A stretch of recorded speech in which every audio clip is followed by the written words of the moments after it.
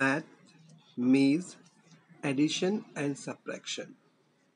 Follow the math maze from start to end.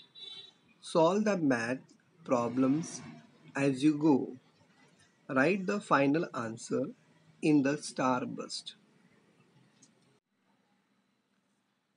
Start 14 plus 47. So let us do the working. 14 plus 47. 4 plus 7 is 11. So you write 1 here and 1 carry over. 1 plus 1 2.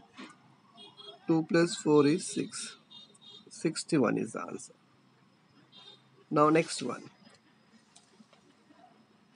61 plus 61 minus 33.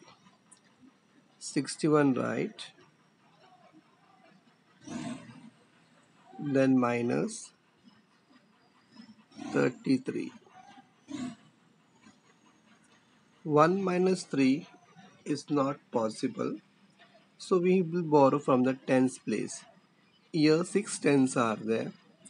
We take borrow 1 10 so 5 tens will be here. And 10 plus 1 is 11 units 11 minus 3 is 8. 5 minus 3 is 2. Answer is 28. After this, this one 28 plus 55.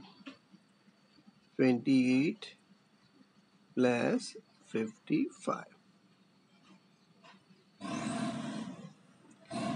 8 plus 5 is 13. So 3 here, 1 carry. 1 plus 2 is 3.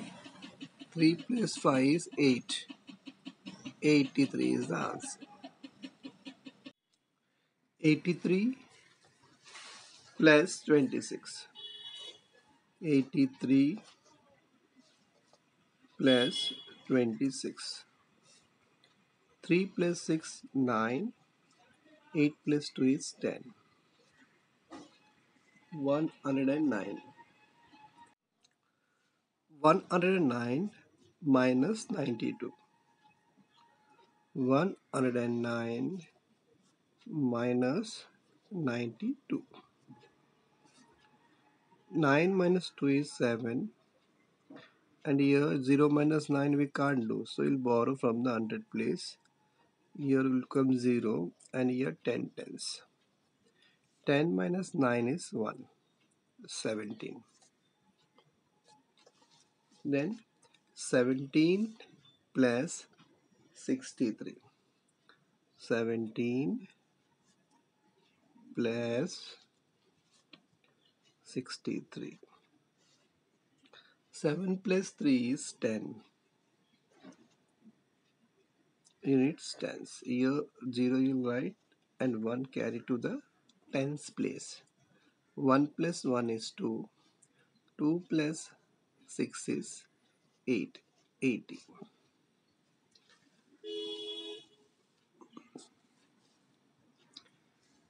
80 minus 75 80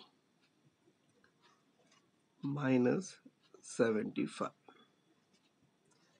0 minus 5 we can't do so we'll borrow from the tens place. If we borrow 1 10 here 7 tens will be left. Here 10 units plus 0 units 10 units. 10 minus 5 is 5 and 7 minus 7 is 0 so the end answer is 5